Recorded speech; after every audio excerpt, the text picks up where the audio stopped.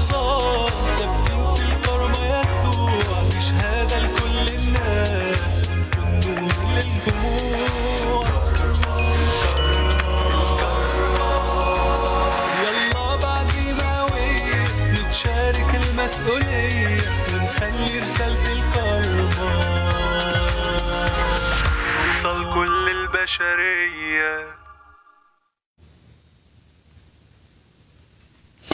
أعزائي مشاهدي قناة كارما في كل مكان في العالم أهلا وسهلا بكم. وسلام رب لكم في حلقة جديدة من حلقات برنامجكم الأسبوعي برنامج الكارما المباشر. كلمة الإيمان قد يدعيها كل إنسان ولكنه ربما لا يكون مؤمنا بالحقيقة. قد يكون له اسم المؤمن لكن ليس له قلب وحياة الإيمان. ليس الإيمان هو أن يولد الإنسان من أسرة متدينة تؤمن بوجود الله فيصير مؤمنا تلقائيا بوجود الله. إنما الإيمان له معنى وله معاني أعمق بكثير من هذا. نعم له معنى قد يشمل الحياة الروحية بأكملها له معنى يصنع به المعجزات. في أحد المرات لم يستطع تلاميذ الرب أن يخرجوا شيطانا من إنسان مصروع فسألوا الرب عن سر ذلك فقال لهم لعدم إيمانكم. وبخ الجمع أيضا قائلا أيها الجيل غير المؤمن الملتوي. أه ليكن ذلك الجيل غير مؤمن لكن رسل المسيح نفسهم يطلق عليهم عبارة عدم إيمانكم هذا كثير. هنا يستكمل المسيح قائلا لتلاميذه ألحق أقول لكم لو كان لكم إيمان. مثل حبة خردل. لكنتم تقولون لهذا الجبل انتقل من هنا إلى هناك فينتقل. حقا. لكن ما هو هذا الإيمان الذي حبة خردل منه تستطيع أن تنقل الجبل؟ لذلك حسنا قال الرسول بولس اختبروا أنفسكم. هل أنتم في الإيمان؟ امتحنوا أنفسكم. فليس كل من يقول يا رب يا رب يدخل ملكوت السماوات. يتابع الرب له كل المجد كلامه قائلا. كثيرون سيقولون لي في ذلك اليوم يا رب يا رب. أليس باسمك؟ تنبأنا باسمك. صنعنا قوات كثيرة. حينئذ أصرح لهم إني لم أعرفكم قط. اذهبوا عني يا فاعلي الإثم. فيا ترى ما هو إذا الإيمان الحقيقي المقبول أمام الله. في هذه الحلقة سوف نعطيك عزيزي المشاهد فكرة عميقة وأيضا مبسطة عن حياة الإيمان كيف تكون. وكيف نختبر عمليا؟ وتختبر عمليا هل أنت في الإيمان؟ وهل إيمانك صحيح وحقيقي؟ هذا ما سنعرفه في موضوع بعنوان في الأزمنة الأخيرة يرتد قوم عن الإيمان. بنرحب جدا باتصالاتكم. فعلا بعد نصف ساعة من من بداية الحلقة وأيضا كتابة تعليقاتكم وأسئلتكم على البث المباشر الآن على الصفحة الرسمية لقناة الكرمة على الفيسبوك. ويسعدنا ويشرفنا يكون معنا ضيفا للحلقة رجل الله وخادم الإنجيل الأسقف عادل هارون رئيس مجمع كنائس نهضة القداسة بمصر. أهلا وسهلا بحضرتك. أهلا بيك يا دكتورة ليديا ربنا يباركك وربنا يبارك البرنامج والقناة وربنا يدينا وقت طيب ونستمتع بحضور ربنا في وسطينا كلنا مع المشاهدين. آمين آمين. طيب كتاب بيقول لنا بيقول لنا كده هو متى جاء ابن الإنسان؟ وده في لوقا 18 والعدد 8 متى جاء ابن الإنسان؟ لعله يجد الإيمان على الأرض. عبارة قوية وآية قوية جدا وموضوع حلقتنا النهاردة في الأزمنة الأخيرة يرتد قوم عن الإيمان. فحابين نعرف يا ترى ما معنى الإيمان؟ آه أنا برحب بكل حد من أحبائنا المشاهدين اللي بيشوفونا النهاردة وأصلي إن رب يدينا وقت طيب وقت ممتع وكل حد فينا أحبائي يستمتع بحضور إلهنا ونستلذ بالإيمان الحقيقي. الحقيقة الإيمان مش مجرد كلمة ومش مجرد فكرة لكن الإيمان الكتاب عرفه في رسالة العبرانيين اللي هو إصحاح الإيمان المعروف لينا كلنا أن الإيمان هو الثقة بما يرجى والإيقان بأمور لا ترى. فالإيمان الحقيقي هو الثقة الحقيقية واليقين الحقيقي. والحقيقة دكتورة ليديا مرات كتير إن إحنا نفكر إنه الإيمان سهل. فالحقيقة لا الإيمان مش سهل لكن الإيمان يبقى سهل بالعلاقة الحقيقية مع الله. فالإيمان عايز ثقة حقيقية. ليه؟ لأنه الإيمان واحد قال كده إنه الإيمان هو إنه بأثق في حد أو بأثق في شيء أو أشياء بدون وجود أمور منطقية تؤكد هذا الشيء وده الإيمان والا ما يكونش إيمان. فالإيمان الحقيقي إنه أثق في شخص أثق في الله أثق في يسوع المسيح بدون أن يكون هناك شيء واضح بالنسبة لي في الرؤية ال- السطحية. عشان كده الكتاب عرفه بالتعريف المشهور ده الإيمان هو الثقة بما يرجى حاجة بترجاها والإيقان بأمور أنا مش شايفها. لا ترى. صحيح. اذا هو ان أنا بثق في أمر فعلا آه، أنا ممكن ما أكونش شايفه لكن أنا متأكد من وجوده. صحيح. هنتكلم أكتر في ونفهم أكتر ونتعمق أكتر في هذه الفكرة وهذه الكلمات لأنه أحيانا بتكون كلمات صعبة. في ناس تقول لك كلنا إحنا مؤمنين بالمسيح يعني صحيح. وخصوصا نقدر لو نتكلم مسيحيين وغير المسيحيين يقول لك إحنا كلنا مؤمنين بالمسيح. آه، يمكن أنتم مش مؤمنين بال- بالنبي بتاعنا لكن آه، يعني إحنا مؤمنين بالمسيح. آه، هل الإيمان أنواع؟ هو ده الحقيقة يعني حاجة مهمة جدا كمان وأشكرك إننا لازم نطرحها ونشارك بها أحبائنا المشاهدين. طبعا لما نيجي نقول عن الإيمان وقلنا مش مجرد كلمة فالإيمان مثلا آه، آه، لما أقول الإيمان العام. الإيمان العام الإيمان آه، الجميع يؤمن أن الله موجود. صحيح. الجميع يؤمن أن الله هو الخالق. الجميع يؤمن أن الله في كل مكان. فإذا يعني نقول الإيمان يعني. العام أو الأغلبية يعني. طبعا, طبعاً. يعني فده الإيمان العام صحيح. الإيمان العام آه، أنت تؤمن أن الله واحد أنت تؤمن أن الله موجود ده الإيمان العام لكن في حاجة تانية أو نوع تاني من الإيمان بنسميه كده إيمان الخلاص أو الإيمان الخلاصي الإيمان الخلاص ده إحنا عندنا في المسيحية وفي كتابنا المقدس الإيمان الخلاصي اللي فيه أنا أؤمن وأصدق أن شخص المسيح له كل المجد هو المخلص الشخصي لحياتي. عشان كده بنسميه إيمان الخلاص. اللي هو أنا أؤمن بالمسيح يسوع أنه جاء أنه عاش أنه مات ودفن أنه قام من بين الأموات وحينما أؤمن هذا الإيمان وأقبل المسيح في قلبي أخلص آمن بالرب يسوع فتخلص أنت وأهل بيتك فبنسميه إيمان الخلاص. في نوع تاني من الإيمان أو نوع ثالث من الإيمان هو إيمان الثقة. إيمان الثقة مختلف شوية عن إيمان الخلاص. فإيمان الخلاص آه الجميع الذين يقبلون المسيح يتساووا في هذا الإيمان. وقال عنه الرسول بطرس أن هذا إيمانا مساويا. لنا. يعني نالوا إيمان مساويا لنا زينا بالظبط إيمان الخلاص. الكل يشترك في إيمان الخلاص واحد. ليه؟ لأنه كل من يقبل المسيح يدخل المسيح في قلبه فيصير ابن لله. هنا أنا عايزة يعني أطرح سؤال. هل كل من آمن أن المسيح مات على الصليب هو ده إيمان الخلاص؟ ولا يعني حضرتك عايز تخصص دوت لكل شخص؟ لأنه كل الناس عارفة أن المسيح مات على الصليب ومؤمنين أن المسيح مات على الصليب. آه، إيه الفرق بينه وبين إيمان الخلاص؟ أنا بقول إنه كل من يؤمن أن المسيح مات ودفن وقام من بين الأموات ويقبل هذا العمل الكفاري في قلبه أي يقبل المسيح في قلبه قبول شخصي. بمعنى إيه قبول شخصي؟ يعني إيه أقبل المسيح؟ يعني كلام جميل. قوي بس نحب نفهمه أكتر. آه آه الكتاب قال لنا آية عملية. جميلة شكرا. يعني طبعا توضيح آه جميل لأحبائنا المشاهدين. الكتاب قال لنا آية جميلة في إنجيل يوحنا أصح واحد وعدد 12 إنجيل يوحنا أصح واحد وعدد 12 قال أما كل الذين قبلوه أي قبلوا المسيح. أعطاهم سلطانا أن يصيروا أولاد الله أي المؤمنون باسمه. وهنا نقف عند الفكرة كيف أقبل المسيح في قلبي؟ صحيح. لما أجي قدامه ولما أعترف بخطاياي أنني خاطي وأحتاج إليه أحتاج إلى غفرانه أحتاج إلى خلاصه أحتاج إلى دخوله في قلبي.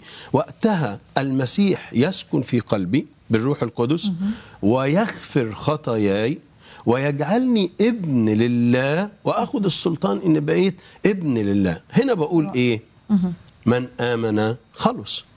صحيح. آمن أي قبل المسيح بإيمان قلبي وثقة حقيقية وصدق ادي الإيمان وصدق أن المسيح الذي قبله يسكن في قلبه ويغفر خطاياه ويطهره من أثامه. وده الإيمان اللي بنسميه الشخصي أو القلبي أو إيمان الخلاص. رائع. أنا قبلت المسيح أنا خلصت. إن آمنت بقلبك اعترفت بفمك. أو إن اعترفت بفمك وآمنت بقلبك خلصت. فأنا بعترف إن أنا خاطي وأنا محتاج للمسيح وعمله الكفاري على الصليب. بصدق في قلبي بقبله في حياتي أنا خلصت. وبقيت ابن لله وبقيت ابن للرب. وطبعا ضمنت الحياة الأبدية. وضمن طبعا حتى تمام. ده ده طيب. إيمان يبقى خل... إحنا اتكلمنا عن الإيمان العام بوجود الله واتكلمنا عن. ايمان الخلاص. الإيمان الثالث حضرتك بتتكلم الإيمان عنه؟ الثالث وأنا هاخد بس النوع الثالث ده الحقيقة في أنواع الإيمان لأنه اتفضل. كأنهم يعني بي بيشو- بيوضحوا لنا بس الصورة يعني بيعملوا لنا عملية توضيح للصورة العامة للموضوع. فالنوع الثالث هو إيمان الثقة. إيمان الثقه الحقيقة هو مختلف تماما عن الإيمان العام الكل يؤمن أن الله موجود وعن إيمان الخلاص أن كل شخص قبل المسيح صار مؤمنا وصار له حياة أبدية.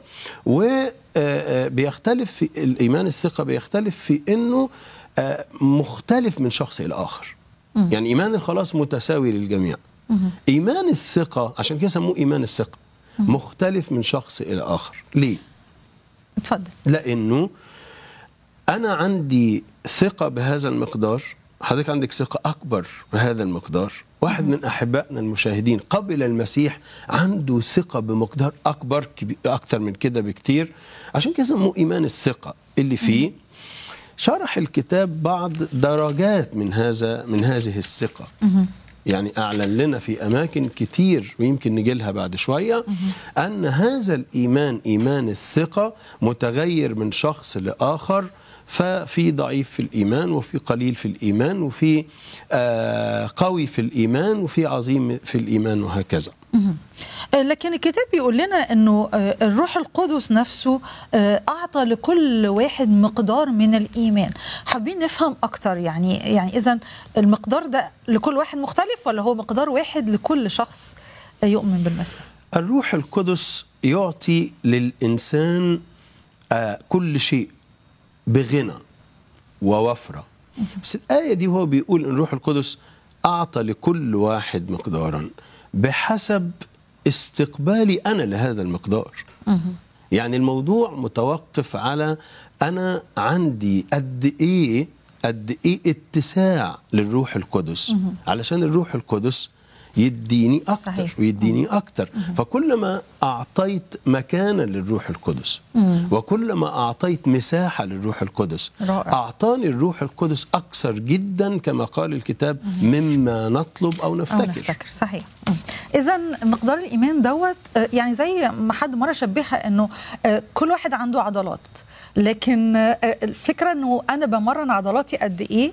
هو ده اللي بيخليني صحيح. بمارس إيماني صحيح. قد إيه طبعا. آه، ده اللي بيخليني آه، فعلا آه، أقوى وأقوى وده. بالظبط المقصود بإيمان الثقة كلما خطوت خطوات للأمان وللعمق في العلاقة مع الله كلما ازداد الإيمان صحيح كلما زاد إيمان الثقة في قلبي وفي أعماقي عشان كده طبعا أدعو كل احبائنا المشاهدين إلى عمق إيمان الثقة والعلاقة والشركة مع الله فكلما تعمقنا في الشركة والعلاقة مع الله ازداد إيماننا وكلما ازداد إيماننا روح القدس ادانا أكتر. صحيح.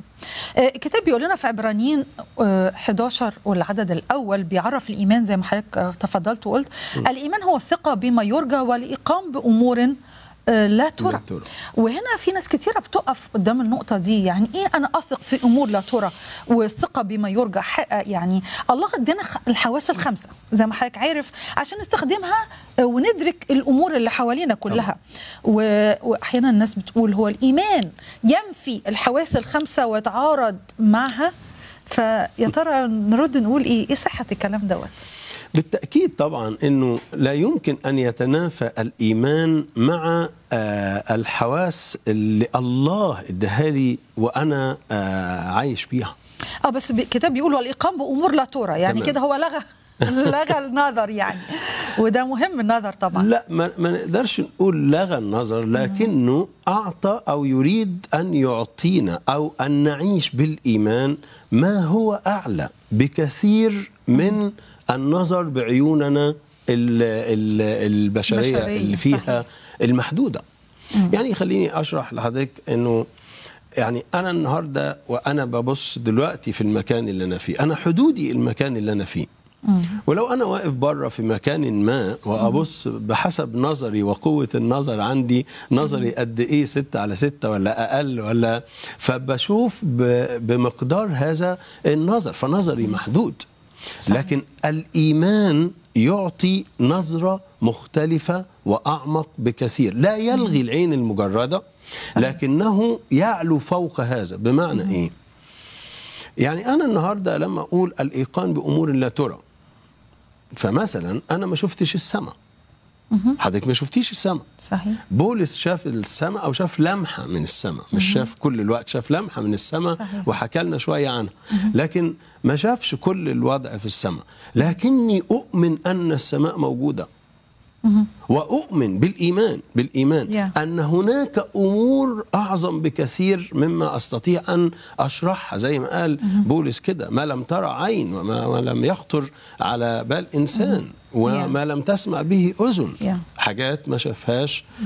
لا يتعارض الأمر مع الحواس. وخليني أشرح فكرة الحواس دي فكرة. اتفضل. المسيح له كل المجد اللي ادانا الإيمان بموته على الصليب وقيامته ووهب لنا كل شيء.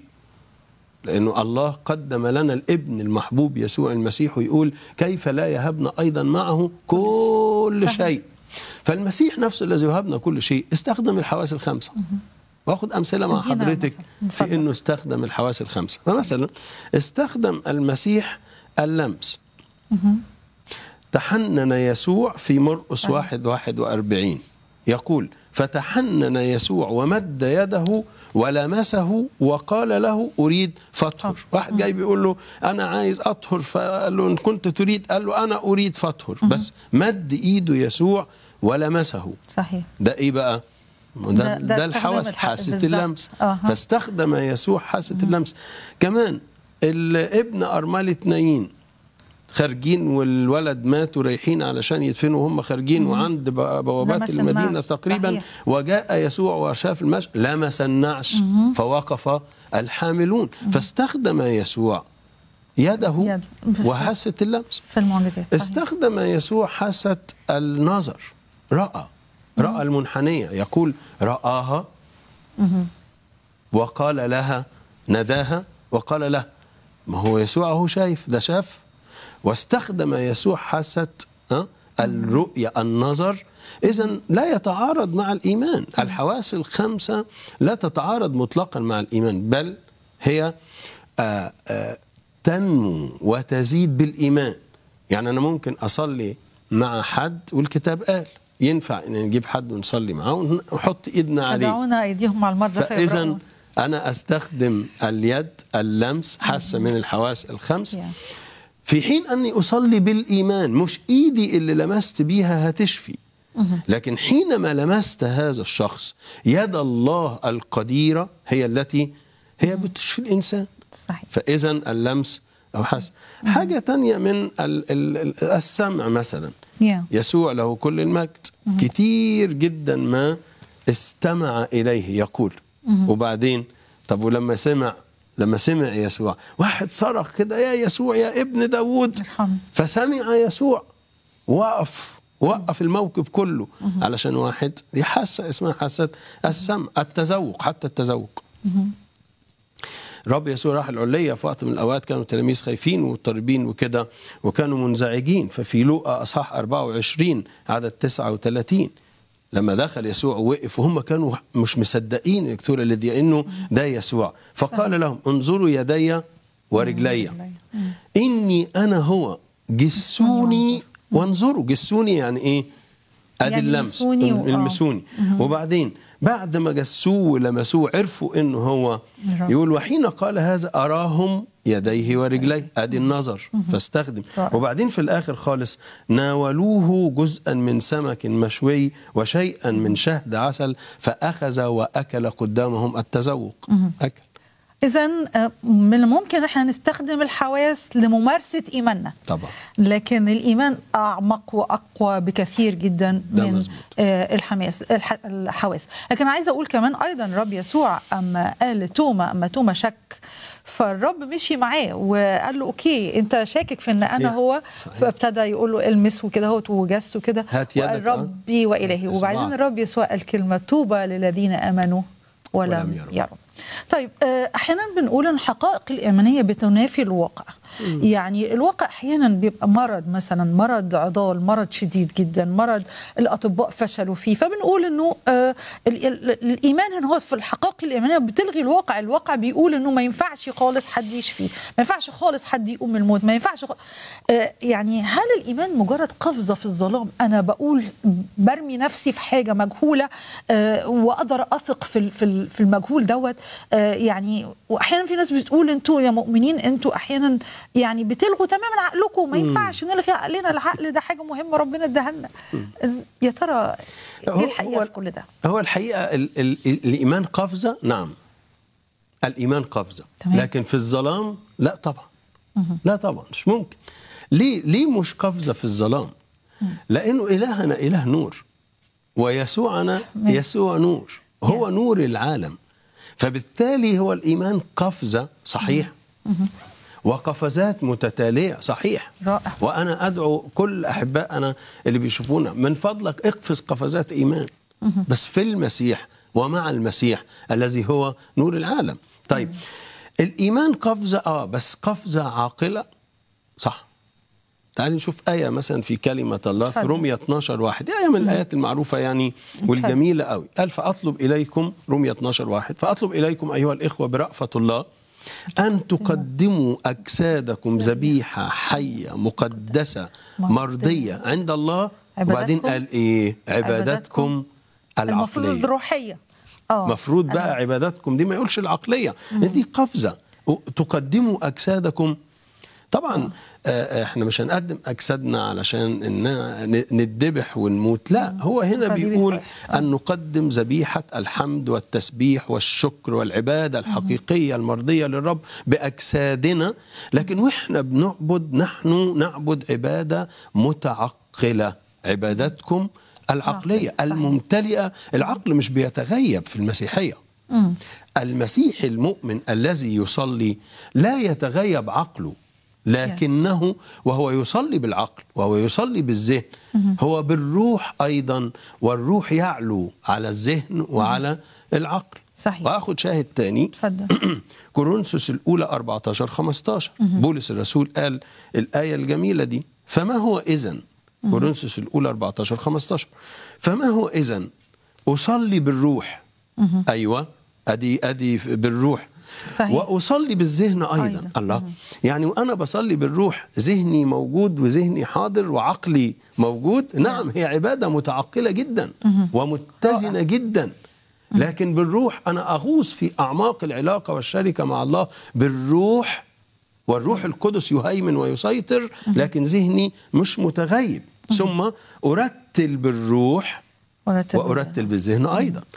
رائع آه اذا آه يعني فكرة العقل ما مش بنلغي العقل العقل ممكن يبتدي فعلا آه معانا طريق الإيمان لكن بنكمل بالإيمان والثقة بالتأكيد. والكتاب فعلا مش بيلغي العقل خالص بالعكس لكن انه مثلا في عبرانيين 11 والعدد 3 الكتاب بيقول بالإيمان نفهم بالإيمان نفهم أيوة. أيوة. أن أن العالمين أتقنت بكلمة الله عبرانيين 11 3 حتى لم يتكون ما يرى مما, مما. هو ظاهر اذا بالإيمان نفهم آه المسيحية مش بتغلي العقل ولا الإيمان بيلغي العقل لكن إحنا بننط أو بنقفز آه على كلمة الله آه زي ما بطرس قفز بالظبط وده اللي أنا كنت عايز أقوله الحقيقة اتفضل. عايز آخد مثالين لأحبائنا المشاهدين يتابعونا علشان برضو مثال من العهد القديم ومثال من العهد الجديد. اتفضل. وأنا حاجة للعهد الجديد لبطرس زي ما حضرتك قلتي طالما قلتي بطرس هناخد. بطرس اتفضل. من العهد القديم هاخد إبراهيم طب. إبراهيم دعي.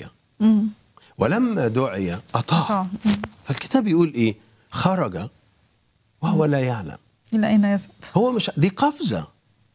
دي قفزة. آه، هي هي أمر صعب جدا. جدا. صعب جدا. هو مش عارف رايح فين ولا الأرض اللي رايح لها ولا ولا حاجة خالص. لكنه وثق تماما في من دعاه.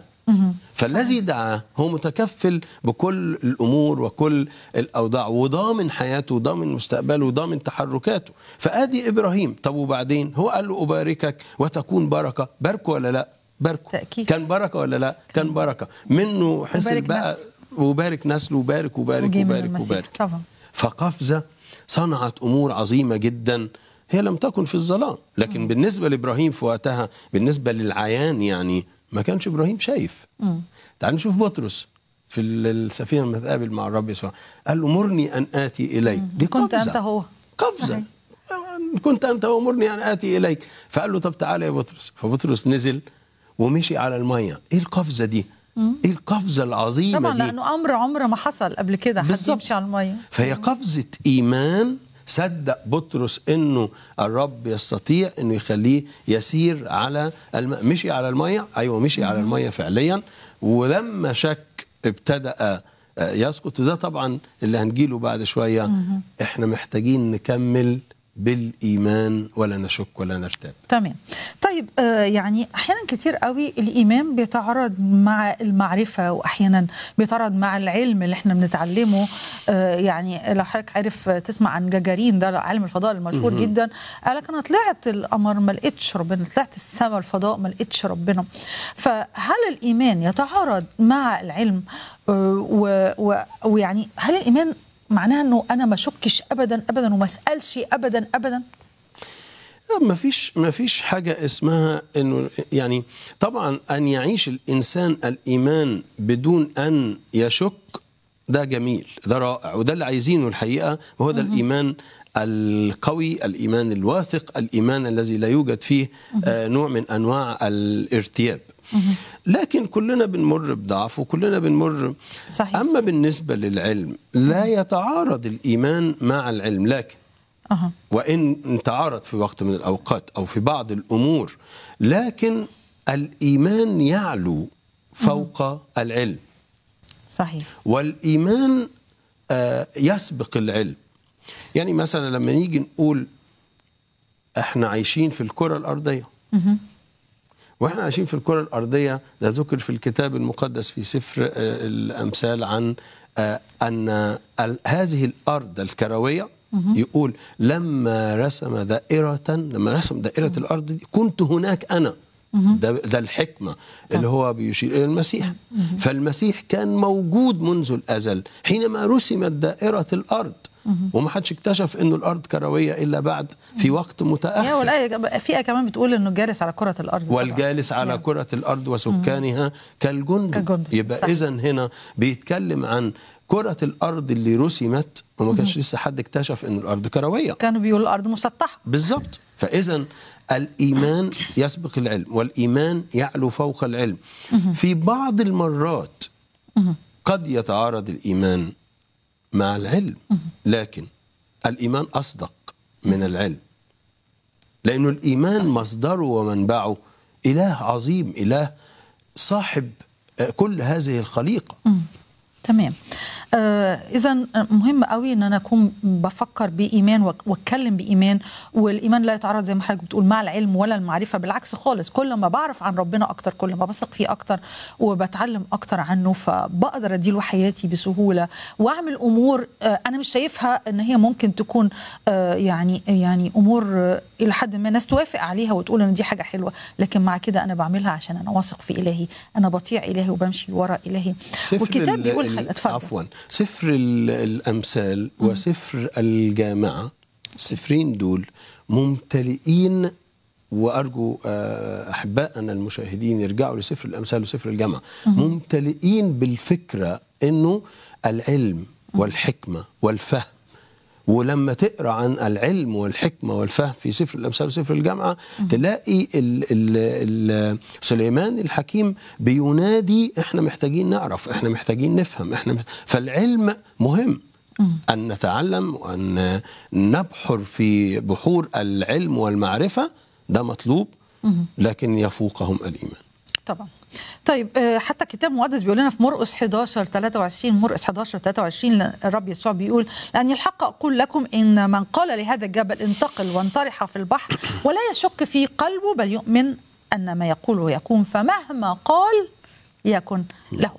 طيب آه، أيضا الكتاب المقدس بيقول لنا في كورنثوس الثانية 4 18 كورنثوس الثانية 4 18 غير ناظرين إلى الأمور التي ترى لا ترى التي ترى لأن التي ترى لأن وقتية. التي ترى وقتية. أما التي لا ترى فهي فأبدية. أبدية. يعني غير نعم. ناظرين إلى الأمور التي ترى. آه، إيه الأمور التي لا ترى؟ ومهم قوي إن أنا آه، أؤمن وأثق بها في آه، المسيحيه لا هي كتير. كتير. بس خلينا نقول أهم ناخذ الأمور. منها طبعاً. بعض الأمثلة آه، طبعا. اتفضل. لكن هناك الكثير جدا من الأمور التي لا ترى و... واللي هي أساسيات في إيمان إيماننا المسيح. المسيحي. فمثلا لو أنا آه، قلت الثالوث. أنا ما شفتش الثالوث. ما حدش شاف الثالوث. الثالوث أساس من أساسيات الإيمان المسيحي تأكيد. العميق. تأكيد. والأساسي جداً. واحد في ثالوث. الله إله واحد صحيح. لكنه مثلث الأقانيم. صحيح. الآب الابن الروح القدس. وبنقول الإله الواحد. طيب أنا ما شفتش الثالوث. لكن أنا أؤمن ويقينيا في قلبي وأعماقي من خلال مع- معرفتي وكلمة الله وإيماني وإدراكي بالمسيح أن هناك الثالوث الثالوث الآب والابن والروح القدس. صحيح. وده شفناه طبعا من خلال الكلمة المقدسة. فيوحنا الأولى مثلا خمسة سبعة يقول فإن الذين يشهدون في السماء هم ثلاثة. الآب والكلمة اللي هو الابن والروح القدس. وبعدين يقول إيه؟ عشان بس. أحبائنا المشاهدين. وهؤلاء الثلاثة هم واحد. واحد. فنحن لنا إله واحد. نعبد إله واحد.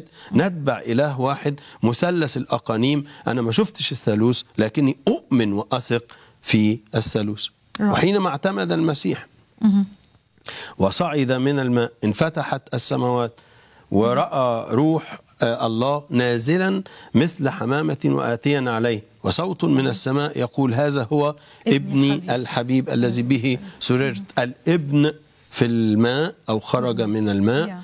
الروح القدس هيئة جسمية كحمامة نازلا عليه. والآب يتكلم من السماء. أنا ما شفتش الآب. وحتى المشهد ده أنا قريته ما شفتهوش. لكني أؤمن يقينا أن الثالوث موجود. وهو أساس من أساسيات الإيمان. صحيح. حاجة تانية مثلا لما أقول السماء السماء نفسها. مين شاف السماء؟ حضرتك ما شفتيش السماء. أنا ما شفتش السماء. مش حد من أحبائنا المشاهدين شاف السماء. لكن نحن نؤمن أن هناك السماء بكل ما فيها من أمجاد. وهناك إحنا آه، آه، آه، كما أعلن لنا الكتاب المقدس وأكد لنا الكتاب المقدس هناك ثلاث سماوات هناك السماء الثالثة زي يعني ما قال. بولس لا ما عندناش سبع سماوات عندنا ما عندناش سبع سماوات. هم هم ثلاث. سماوات آه. وبيت الآب فوقهما وهناك هنسكن في بيت الآب في الآخر وده طبعا بعد بولس مجيء لما ذهب للسماء الثالثة. بالضبط. فبولس يقول إنه ذهب أعرف انسانا. قالوا ده في الجسد لست أعلم خارج الجسد لست أعلم. ما للإنسان ده؟ ذهب ذهب إلى السماء الثالثة. طب قول لنا عن السماء الثالثة. عارفة قال لنا كده لمحة. لكن Yeah. هذه اللمحة الصغيرة جدا ده هناك ما لم ترى عين وما لم تسمع به أذن ما لم يخطر على عقل أو قلب إنسان. هذا ما اعده الله للذين يحبونه. اذا هناك السماء والسماء تنتظرنا فنحن نصدق ونؤمن أن السماء موجودة ونحن سوف نذهب إلى السماء كمؤمنين حقيقيين. يعني مش مش أي جنة. حد.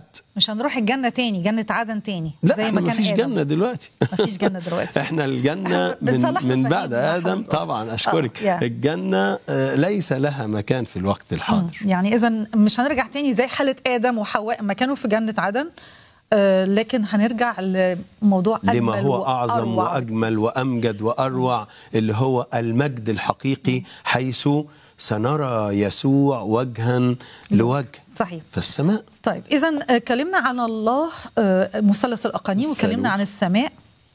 ماذا أيضا تختلف يختلف الإيمان المسيحي عن أي إيمان آخر؟ أنا أنا آه، عشان كده هقول حاجة ثالثة وأشكرك آه، علشان اتفضل. الفكرة دي يعني. من أساسيات الإيمان المسيحي وما شفتهوش بس أؤمن وأصدق فيه عمل الصليب والخلاص.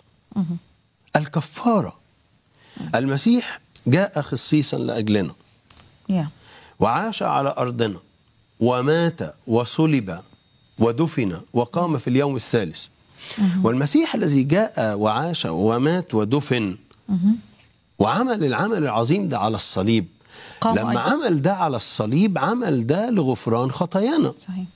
عشان كده الكتاب بيقول إن كلمة الصليب عند الهالكين جهالة. أما عندنا نحن المخلصين المؤمنين اللي قبلنا المسيح فإيه؟ قوة قوة. الله للخلاص. صحيح. فعمل الصليب ما يبانش ما حدش يشوفه. مين يشوف؟ ده بالعكس اللي يشوف الصليب يا دكتوره ليديا يقول إيه؟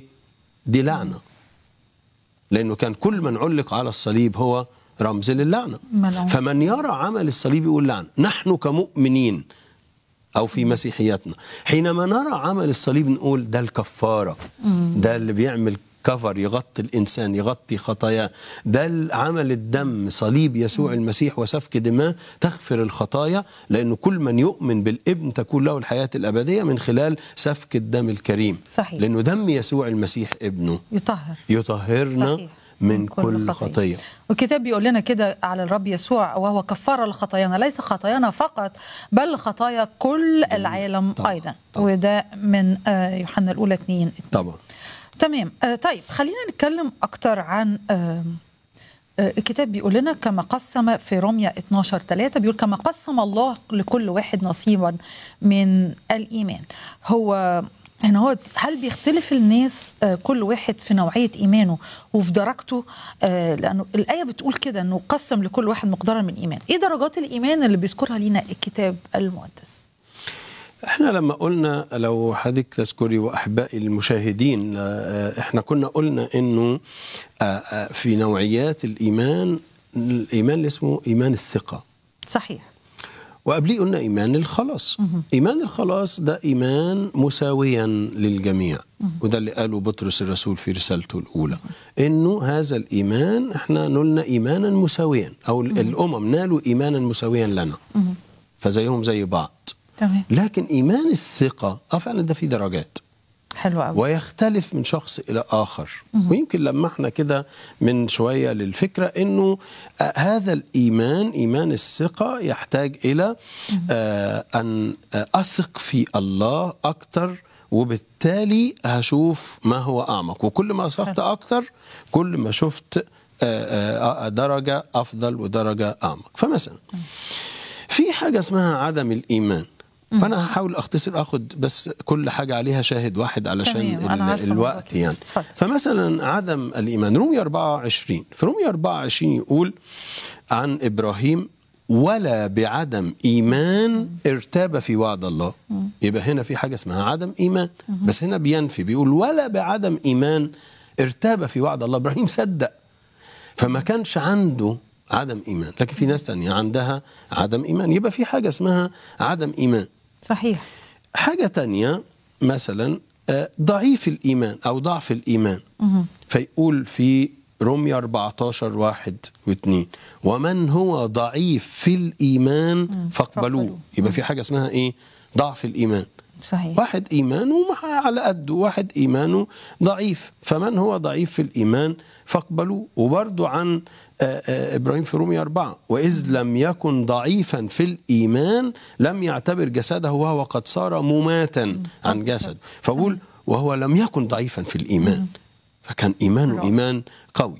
يبقى في إيمان آه نقول عدم الإيمان أو عديم الإيمان ضعيف الإيمان في كمان قليل الإيمان. صحيح. وطبعا كلنا أعتقد نذكر انه المسيح قال ال- التعبير ده للتلاميذ وقالوا كمان للشعب يعني في متى 14 31 ففي الحال مد يسوع يده وأمسك به وقال له يا قليل الإيمان لماذا شككت عن ده- بطرس؟ ده البطرس طبعا. حضرتك فاكره كنا بنتكلم عن بطرس؟ 14 آه، 31 كمان فقال له يا قليل الإيمان. صحيح. لماذا؟ ش... إيمانك ماله يا بطرس كده قال لي ليه؟ ما أنت كنت مصدق وكنت بتقول أحبائي أصلي إن رب يدينا نعمة إن إيماننا يزيد في هذه الأيام الصعبة. إحنا في أيام الحقيقة صعبة. نحتاج أن إيماننا يعلو ويزيد كل شوية صحيح. ويمكن في متى ستة برضو الكتاب بيقول لنا كده إن كان عشب الحقل الذي يوجد اليوم ويطرح غدا في التنور يلبسه الله هكذا ف- فليس, فليس بالحري يلبسكم أنتم أيضا يا قليل, يا قليل. الإيمان. الإيمان. يا. أحيانا بنشك في الأمور دي. طيب حقيقي. حلو قوي أيضا في- قال للتلاميذ طبعا قال يا قليل آه. الإيمان. اتفضل. بالظبط. وقال للتلاميذ طبعا آه يا قليل الإيمان. ما بالكم خائفين يا قليل الإيمان؟ و- وقال مرة تانية للبعض لماذا تفكرون في أنفسكم يا قليل الإيمان؟ ليه صحيح. بتفكروا كده جواكم؟ على فكرة لما قال لهم لماذا تفكرون في أنفسكم؟ ما كانش حد آه، قال حاجة عن لكن المسيح بسلطانه العظيم يا. شاف وعرف فقال لهم لماذا تفكرون في أنفسكم يا صحيح. قليل ويمكن كمان أبو الولد اللي هو الطفل المصروع ده اللي كان عليه شيطان أما الرب سأله أتؤمن لكي يشفيه؟ قال له كده أؤمن يا رب فأعن عدم فأعن عدم إيمان. عدم ايمان طبعا إحنا في اتكلمنا على. على عدم عدم الإيمان الإيمان، واتكلمنا على ضعف ضعف وقلة الإيمان. مظبوط. ماذا أيضا من درجات في الايمان ال- في الارتياب في الإيمان اللي هو الشك في الشكاك. الإيمان. وطبعا أنت آه، قلتي مثال توما من هو شوية. توما فهو أكبر- اكبر اشهر شكاك وبطرس بطرس كمان شك. طبعا تلميذي عمواس شكوا كمان آه أيضا طبعا كل التلاميذ في المرحلة. الصعبة دي لكن. أكثر آه، والرب قال لهم كلكم تشكون فيا. لا هذه ليس صح. آه،. مظبوط كده. فمثلا لو أخذنا في آه، آم، مثال يعقوب واحد ستة. وده الحقيقة آه، شاهد قوي بي- بيوضح الفكرة دي جدا يعني. يعقوب واحد وعدد ستة وعدد سبعة. ولكن ليطلب بإيمان غير مرتاب البتة. يعني غير مرتاب يعني ما. يشكش. آه. وغير مرتاب البتة يعني ما يشكش ابدا. لأن المرتاب والحقيقة وضحها وأنا عايز برضو صحيح. إننا نوضحها زي ما الكتاب وضحها لأن المرتاب يشبه موجا من البحر تخبطه الريح وتدفعه. عادة كده المرتاب يعني يتخبط كتير. آه. اللي مش بي بيؤمن وبيثق يتخبط كتير يروح يمين ويروح شمال وهنا ما يلاقيش مقر لرجله وهنا ما يلاقيش مقر لرجله فيرجع تاني يروح وهكذا. فلا يظن ذلك الإنسان أنه ينال شيئا من عند الرب. فالمرتاب ده مش بيقدر ياخد مش بيقدر يمتلك مش بيقدر يشوف. كلمة ليه؟ توديه وكلمة تجيبه. شوية مرتاب. ماشي على كلمة ربنا وشوية ماشي على كلام العالم والمعاين وأكد الكلام ده في الشاهد بالآية الأخيرة عدد 8 رجل ذو رأيين هو هو متقلقل في متقلقل في صحيح. كل أو في جميع طرق. صحيح كده صحيح. شك في الإيمان أو ارتياب أنا يعني هحاول أختصر في حاجات تانية طبعا بس هحاول أختصر وآخد كمان كم حاجة إيجابيين شوية. حلو يعني أوي. أمثلة إيجابية جميل. عن الإيمان زي. مثلا اتفضل. قوة الإيمان. حلو. إيمان قوي. إيمان الحقيقة ما نقدرش نقول عنه إلا إيمان قوي. فناخد مثال رمية 20 بتاع آآ آآ إبراهيم. يوم عف- عفوا رمية 24 رمية 24 ولا بعدم إيمان. قلنا الشاهد ده. ارتاب في وعد الله. بقيه ال- الشاهد ده إيه؟ يقول بل تقوى بالإيمان يا. معطيا مجدا لله. صحيح. هي بل تقوى بالإيمان معطيا مجدا لله. لحظة حضرتك يا دكتورة. وهو بيقول معطيا مجدا لله لما تقوى بالإيمان. صحيح. إذا كنا نريد أن نعطي المجد لله كمؤمنين نحتاج أن إيماننا يتقوى. وأن نتقوى في الإيمان. مثلا لما قال لك انكم ستنالون قوة ما تحل الروح القدس عليكم. وتكونون لي شهودا. إمتى نكون شهود؟ لما يبقى عندنا هذا الإيمان الواثق الإيمان القوي. لما قوة روح الله تأتي إلينا بالإيمان العميق القوي نقدر إننا نشهد عن هذا الإله العظيم. قال اسهروا. اثبتوا في الإيمان كونوا رجالا تقووا.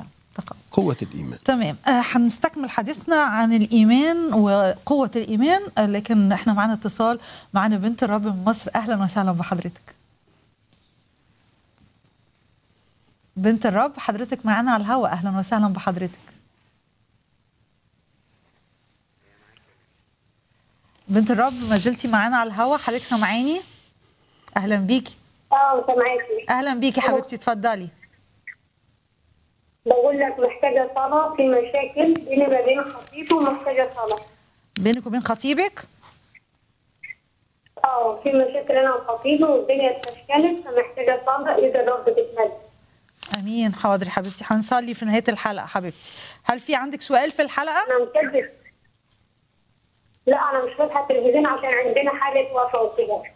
هو ربنا يعزيكوا حبيبتي. ربنا يعزيكوا. آه طيب طيب محتاجه صلاه من. أجل خطيبي وأهله أن ينصر ويلاقي قلوبهم ويكون بيكمل. أمين بحسب مشيئة الرب صح؟ قولي قولي لي يا بنت هو الرب حسب شفت أمين. بقول لك قولي لي يا بنت الرب أنت فعلا بنت الرب؟ أنت قبلتي المسيح مخلص شخصي لحياتك؟ وبديتي حياة التوبة؟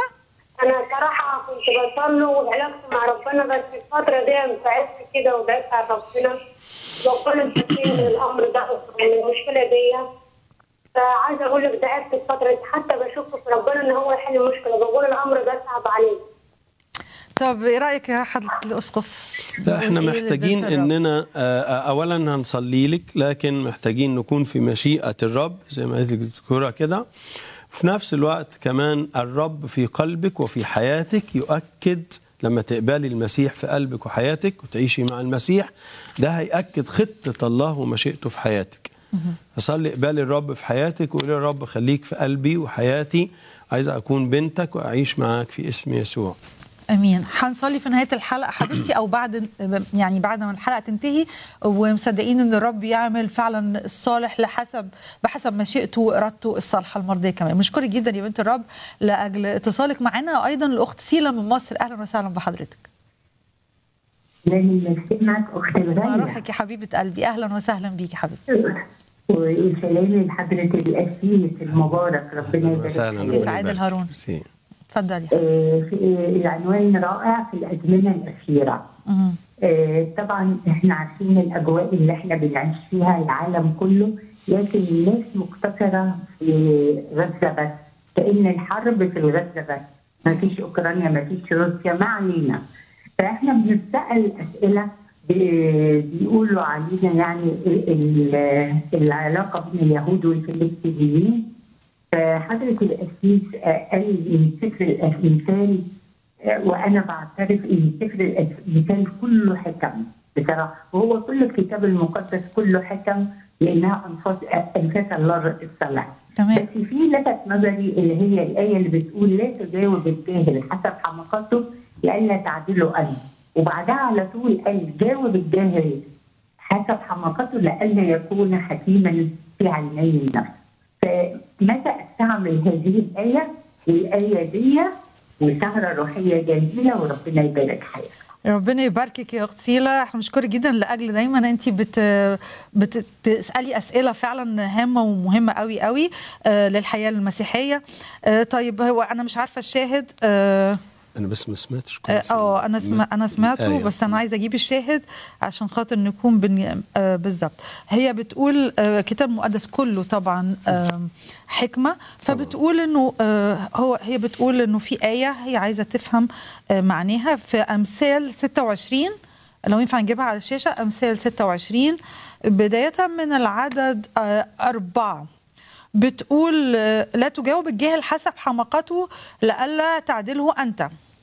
وبعدين في العدد الخامس آه، أمثال 26 أربعة بالظبط آه، لا تجاوب الجاهل حسب حماقته لئلا تعدله أنت. وبعدين في العدد الخامسة العدد اللي بعديه على طول جاوب الجاهل حسب حماقته لئلا يكون حكيما في عيني نفسه. فهي بتسأل أختنا سيلا بتقول آه، هو أنا جاوب الجاهل ولا ما جاوبوش و... وإيه أثر دوت طبعا لو أنا جاوبت الجاهل أو ما جاوبتوش. اتفضل.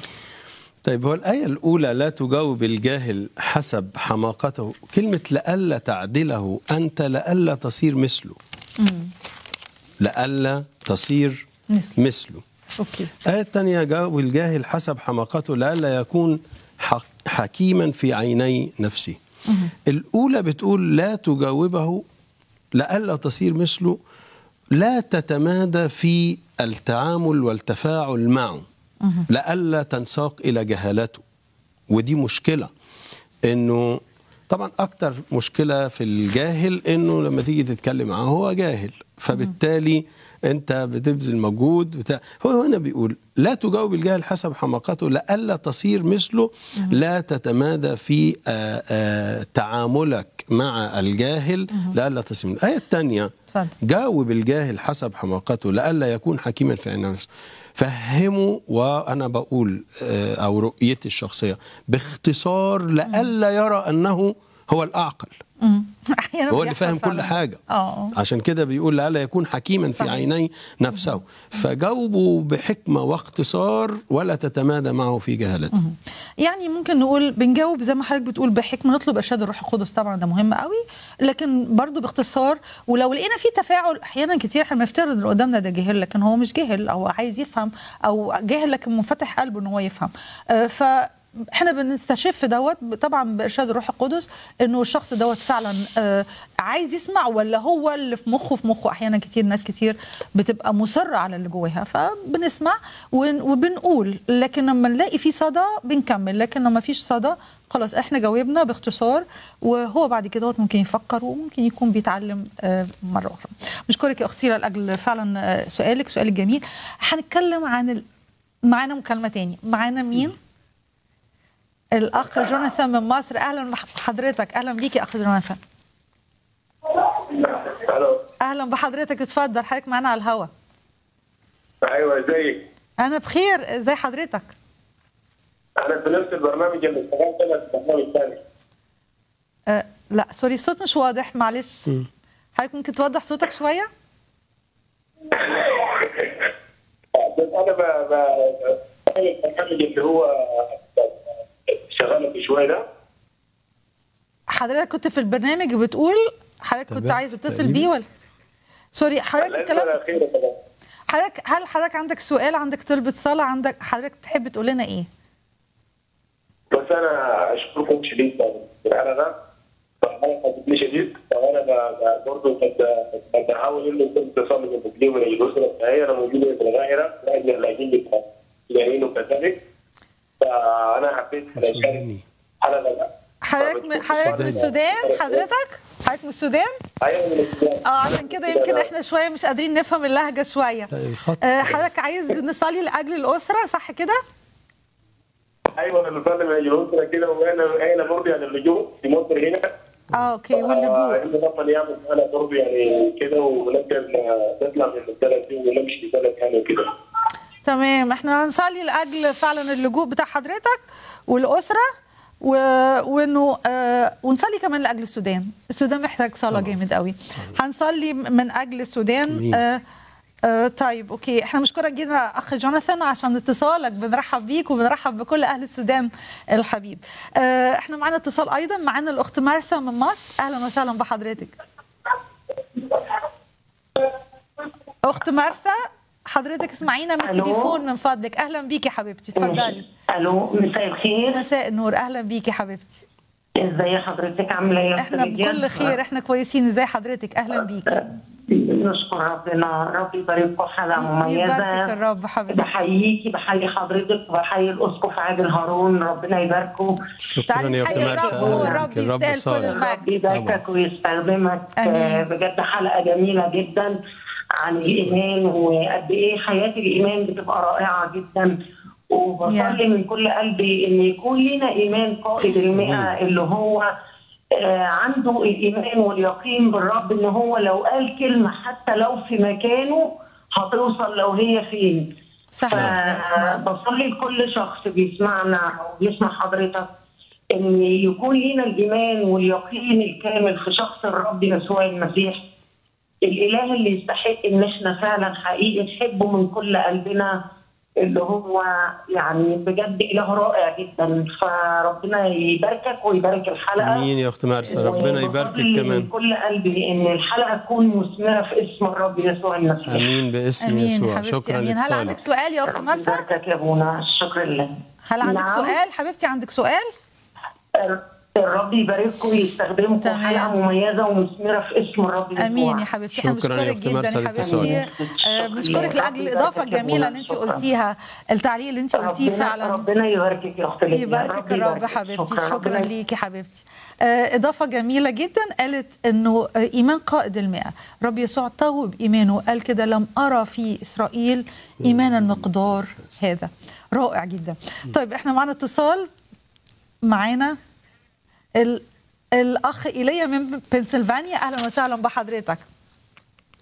أهلا مساء الخير. أهلا بحضرتك. آه، أهلا بحضرتك. و- اتفضل. وبرحب بجناب الاسقف عادل أشكرك. أهلا وسهلا بيك.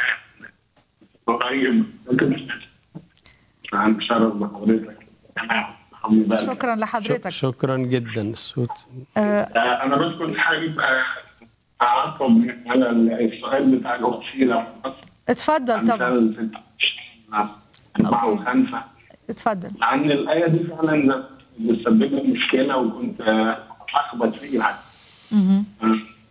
لكن آه، حلو قوي المفهوم اللي جناب الاسقف شارك بيه إنه آه، الآية الأولى بشارك كمان الاخت فيها إنه آه، لا تجاوب الجهل لعل تعدله عن أنك تكون معادل ليه إنك تساوي ليه وتبقى تمام يعني صحيح. ما تستخدمش نفس الأسلوب من بعض الناس. بتستفزنا لكن إحنا لو عندنا self control إن إحنا بنقدر نتحكم والروح القدس بيدينا ال- القدرة دي. دايما فاهم صحيح الروح جدا. يبقى عندنا خوف وعندنا طول هنقدر كمان ما نجاوبش كل واحد بأسلوبه. آه، ما نتغيرش بحسب الناس اللي حوالينا لكن يمكن اسلوبنا واحد بعد كان بي- بيستفزني أنا بتسلح حكمتي و- واجاوبه بنفس اسلوب ففي الحاله دي هبقى واحد ليه هبقى احمق زيه. صحيح. لكن أحيانا في الايه الثانية بقى إنه جاوب الجاهل حسب أنتم يعني يطحوا الخطا بتاعه أعتقد ده اللي هو المسيح اللي قال كمان بولس كمساوي وأبدأ وانتهر واعظ أحيانا بيتطلب الأمر إن أنا اكتشف الغلط وأقول ده غلط واتغاضى عنه. صحيح صحيح. لعل يكون حكيم نفسه أقول له إن أنت اللي بتعمله ده غلط. تمام تمام. لكن. إحنا بنشكرك جدا يا أخي ايليا لأجل فعلا توضيحك آه، لأنه فعلا مهم قوي إن إحنا نكون فعلا آه، بنتكلم. آه، كتاب بيقول لنا كده مستعدين لمجاوبة كل من يسألكم عن سبب الرجاء الذي فيكم بوداعة. وخوف. وخوف. خوف مش إن أنا خايف منه لكن هو بالإنجليزي ريسبكت يعني احترام. طبعا. بحترم عقليته بحترم إن هو يمكن ما عندوش المعلومات الكافية فبكلمه بأسلوب كويس. لكن طبعا زي ما حضرتك كنت قلت برضو أحيانا مهم إن أنا أكون لو أنا شايف حاجة مش مظبوطة فعلا أنا أكون بوبخ آه، هل حضرتك عندك تعليق؟ آه، حد الأسقف؟ أعتقد إحنا قلنا الفكرة كاملة الفكرة- تمام. شكرا. رب نشكرك يا أخي ايليا لأجل اتصالك. شكرا يا أخي آه،. بنستكمل حديثنا عن الارتداد في الإيمان. هو حلقتنا النهارده آه، عنوانها آه، آه، فعلا من تيموساوس الأولى آه، الع- آه، الصح الرابع والعدد الأول. لكن الروح يقول صريحا أنه في الأزمنة الأخيرة. يرتد قوم عن الإيمان. هل إحنا فعلا في الأزمنة الأخيرة ولا في الأيام الأخيرة؟ و... و... وهل فعلا في ارتداد عن الإيمان؟ هو الحقيقة يعني طبعا هذا الموضوع مهم جدا و وكمان حساس. لازم إننا طبعاً. ناخد بالنا ونفهم النصوص الكتابية آه، فيه. طبعا لما نقول في الأزمنة الأخيرة تعبير الأزمنة الأخيرة آه، في وروده في النص الكتابي هنا هو مش المقصود ب آه، الوقت الأخير. ده من يعني وقت مش في الأيام الأخيرة زي ما الكتاب بيقول في أعمال في- 2 في 17 تعبير الأيام اسمه الأخيرة. الأزمنة الأخيرة. وفي تعبير تاني اسمه الأيام الأخيرة. صحيح. وفي في تعبير أواخر تاني اسمه الأيام. آه هو أواخر الأيام. صحيح. الأيام الأخيرة وأواخر الأيام. واليوم الأخير. طبعا ده غير ده غير ده. الأزمنة الأخيرة آه، أجمع على أنها من من من وقت الرسل إلى آه، الآن. إحنا الأزمنة الأخيرة. آه أوكي. لكن الأيام الأخيرة يعني هي محدودة أكثر يعني الأزمنة الأخيرة متسعة طبعا. الأيام الأخيرة هي محدودة أكثر إحنا بنشوف طبعا إنه كل شوية بيحصل ما هو أكتر دكتور ليديا ودي المشكلة ودي الأزمة إنه كل ما الأيام بتمر بينا وبتعدي بينا بنشوف اللي ما شفناهوش يعني بنشوف ال- التراجع وبنشوف ال- العالم. بكل ما. فيه بنشوف آه، آه، بتزداد أمور العالم آه، بؤسا ويأسا وفي نعم. أمور بتيجي على الكنيسة آه، هذا مقدارها وهذا عددها آه، هو هنا بيتكلم على مؤمنين ولا خطاة؟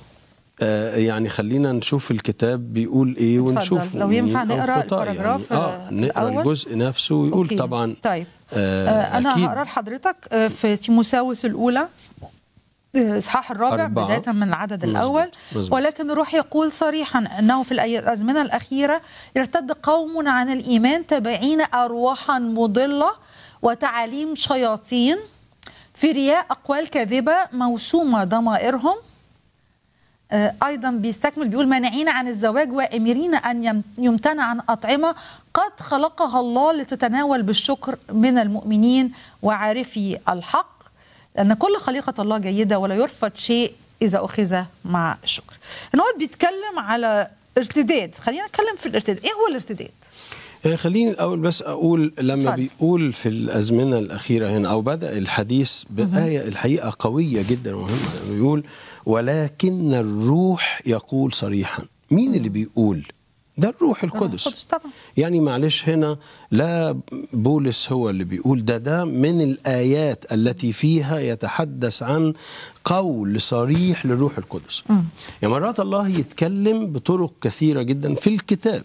صحيح. فمرات بولس يقول أنا بقول كده ومرات يقول الروح يقول. فهو هنا بيقول ولكن الروح يقول ده الروح القدس هو اللي بيقول. حلو. بعدين كمان بيقول كلمة صريحا فاللي بيقول الروح القدس وقوله قولا صريحا. يعني دي ما فيهاش كلام إنه الروح القدس هو الذي يقول. ويتحدث بطريقة صريحة. اذا الكلام اللي جاي كله كلام مهم جدا لأن الروح جد- القدس هو اللي قايله جدا. بطريقة صريحة و... ونص خطير جدا تمام. هذا النص الكتابي. حلو. بعدين بيقول يرتد قوم عن الإيمان. طب مؤمنين ولا مش مؤمنين؟ ما هو باينة واضحة من كلمة الله. اللي بيرتد بيرتد عن إيه؟ عن الإيمان. وإن لم يكن هناك إيمان فعن ماذا يرتد؟ صحيح. يعني إن لم يكن. هناك إيمان حقيقي فكيف يرتد؟ وعن حلو. ماذا ارتد؟ هو طيب. يرتد لكن كمان أقول كلمة كمان إنه بيقول قوم. كلمة قوم يعني مش معناها كل الناس فهو مش الارتداد العام اللي ممكن اتكلم عنه في سيد تسالونيكي الإصحاح الثاني ولا كمان آه، عدد قليل. هو قوم برضو ده عدد مش مش قليل. حلو. قوي رائع. آه اذا هنا هو بيتكلم على ارتداد. آه نقدر نعرف الارتداد نقول إيه هو الارتداد؟ لأنه كلمة كبيرة قوي قوي ضخمه ومعنى كبير. طبعا. آه نقدر نقول إيه عن الارتداد؟ ال- الارتداد الحقيقة لما نيجي نتكلم عنه زي ما قلنا من من لحظات آه، الارتداد عن شيء هو كان في شيء وتركه. فلا يمكن نقول ارتداد إلا إذا كان ماشي في حاجة أو في سكة ورجع عنها. وتم الرجوع عنها. فالارتداد هو الرجوع عن الإيمان أو خطوات الإيمان اللي مفروض إنها تكون ثابتة. تمام. أو الارتداد عن تعاليم المسيح وتعاليم الكتاب لأن هنا كمان رائع. بيتكلم عن أنه تمام. رجعوا من تعاليم كلمة الله إلى تعاليم أخرى. هي صح. تعاليم شياطين. فيرتد قوم عن الإيمان. ويظهر من العبارة دي يا دكتورة ليديا أنه الناس دول زي ما قلنا ما هماش آه، مجرد آه، ناس عاديين. لا ده عن الإيمان. فهم مؤمنين واختبروا نعمة الله وتركوا هذا الإيمان وارتدوا عنه ليذهبوا إلى طريق أخرى وسكة. ويمكن الكتاب المقدس قال لنا أما البار فبالايمان يحيى وإن ارتد لا تسر به طبعا. نفسي و- وأيضا في أشعياء آه، واحد أربعة بيقول تركوا الرب استهانوا بقدوس إسرائيل ارتدوا إلى الوراء زي ما حضر الاسقف كان بيقول إنه في رجوع للوراء في بعد ما كنت ماشي مع الرب أنا أنا برجع عن اللي أنا آه، مشيت فيه وبعمل أمور آه، هو تخلى عن تمام. شيء وتمسك بشيء آخر. تمام. فهو تخلى عن إيمانه الحقيقي بالمسيح وبتعاليمه وبكلمته واتجه لاتجاه تاني تمام. خالص. إيه وصف الارتداد اللي الكتاب قاله في هذا المقطع بالذات؟ إيه وصف الارتداد؟ لأنه في أماكن كثيرة جدا بيقول آه، أمور أخرى. لكن إيه وصف الارتداد بيقول كده؟ يرتد قوم عن الإيمان وبعد كده بيتكلم بيقول صفات آه، خلينا ناخد تابعين ارواحا مضلة وتعاليم شياطين. تمام. إيه المقصود من فضلك؟ آه يعني طبعا بكل تأكيد أنه ارتداده عن زي ما قلنا تعاليم المسيح فتبع تعاليم أخرى هي تعاليم شياطين. طبعا هنا مش الشيطان اللي جاء علم يعني لكن الشيطان له أتباع. هم معلمين كذبة ومعلمين علموا. حاجة غير تعاليم الكتاب المقدس فهم والتعليم دي زي ما بيقول هنا جاءت في أقوال كاذبة وفي رياء وموسومة ضمائرهم يعني. يعني لما بنلاحظ حتى كلمة موسومة ضمائرهم دكتورة ليديا معناها أنه ختم على ضمائرهم مش يعني آه، يعني ابتعدوا عن ختم الروح القدس وختم على ضمائرهم بختم آخر, بختم آخر، فصارت موسومة أي مختومة ضمائرهم باتجاه آخر بعيد عن الإيمان. إيه الأرواح المضلة؟ إيه أنواع الأرواح المضلة اللي ممكن تكون بتضل واحد مؤمن ومؤمن حقيقي وتخليه يبعد عن زي إيه مثلا انواع أرواح المضلة؟ مؤكد أو الأر- تعليم الشياطين. مؤكد الأرواح المضلة في هذه الأيام كثيرة جدا. يعني النهارده لما نقول مثلا يعني آه يعني هنا ذكر تعبير مانعين عن الزواج. وطبعا الفكرة مختلفة عن اللي أنا هقولها دلوقتي في وقتها. صحيح. لكن دلوقتي مثلا لما يجي نبص على الناس ونقول مش فارق معاهم الزواج المقدس واللي فارق معاهم كل اتنين يعيشوا مع بعض ويعملوا علاقة ويخلفوا أولاد وكده بدون ارتباط أو زواج مقدس. آه تعاليم مضلة. صحيح. لما نقول الابتعاد عن التعليم الكتابي من كلمة الله والاتجاه إلى تعليم آخر ياخد الناس في حتة تانية بعيد عن تعليم الكتاب تعليم مضلة.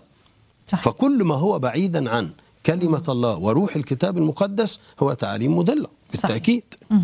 تمام. آه، طيب آه، هل في أنواع للارتداد؟ هل كل اللي بيرتد وبيبعد عن المسيح خلاص خلص راح لل يعني نهايته نهايته ال- ال- النهاية الأبدية ال- المؤلمة ولا في أنواع للارتداد؟ يعني هل كله طريق زي ما بتروح ما بتجيش تاني؟ لا طبعا إحنا على فكرة إحنا تملي تملي بننادي للناس ب آه الإيمان والخلاص. الإيمان والخلاص. أؤمن لكي تخلص. اقبل المسيح عشان يبقى لك حياة أبدية. ونحن ضد أن آه، آه، آه، إننا نقول إنه المؤمن مثلا يصل إلى مراحل في الارتداد بتاعه فتضيع حياته الأبدية. إلا إذا بقي في ارتداده. بقي في ارتداده. إلى أن أنكر حتى عمل الروح القدس. لأن لما نيجي نفكر هو مين اللي بيخلي الإنسان يؤمن؟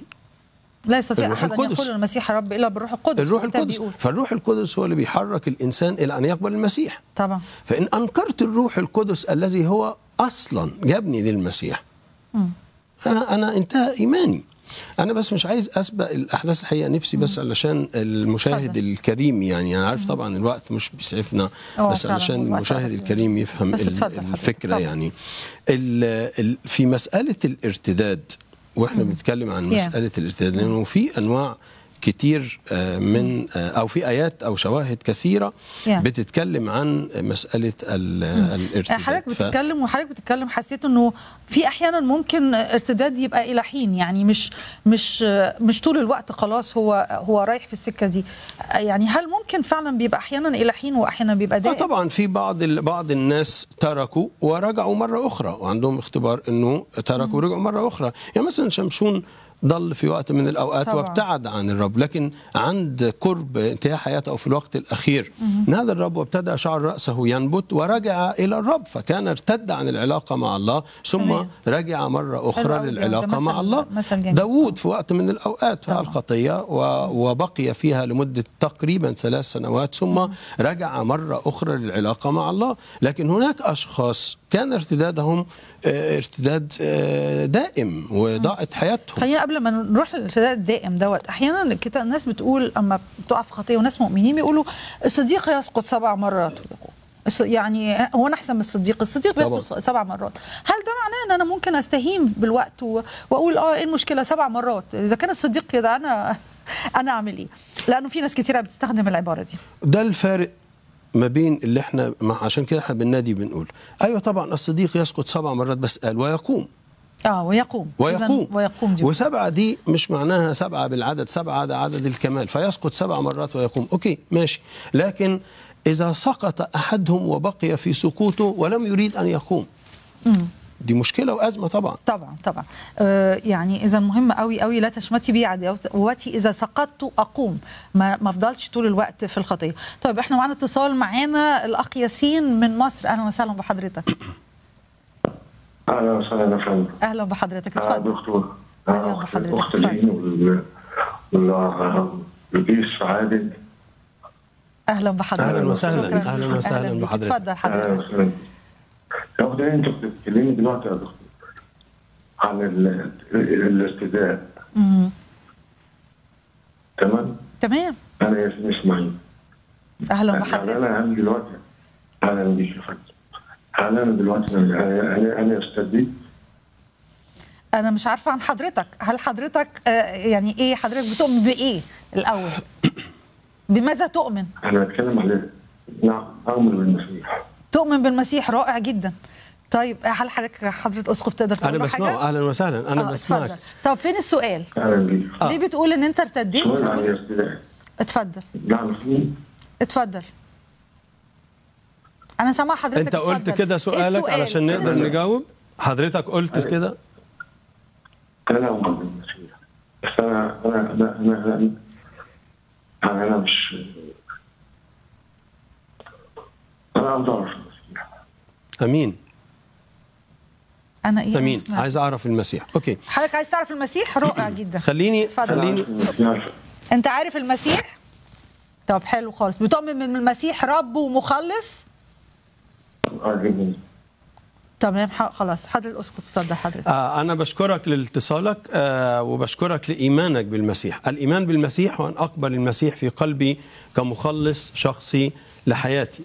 وده إحنا بنقول عليه هو ده الإيمان الحقيقي. أنت كنت بتسأل هل أنا ارتديت؟ أنت كده قبلت المسيح. أنت كده قبلت السماء. أنت كده بقيت شخص مختلف لأنك قبلت المسيح المخلص صحيح. العظيم وصار لك مكان في السماء. حينما نقبل المسيح في قلوبنا لما بتقبل المسيح في قلبك المسيح بيكتب اسمك في سفر الحياة في السماء ويكون لك مكان في السماء. ثق أن لك مكان في السماء حينما قبلت المسيح يسوع. وما تقلقش وكمل بالإيمان الرب يحفظك ويباركك. نشكرك جدا يا أخ ياسين لأجل اتصالك ولو عندك أي سؤال إحنا بنرحب بيك وبنرحب بكل أسئلتك. الرب يباركك. طيب آه، في ارميه آه، أرمية النبي آه، النبي الباكي المشهور قوي في أرمية 8 والعدد أربعة بيقول هل يسقطون ولا يقومون أو يرتد أحد ولا يرجع؟ ده سؤالين. يعني هل ممكن فعلا الشخص لما يسقط يقدر يقوم ولو يرتد يقدر يرجع؟ خليني استسمحك آخذ بعض آيات. وشواهد تخص موضوع الارتداد في الكتاب في أماكن مختلفة يمكن توضح لنا الفكرة آه، أكتر شوية.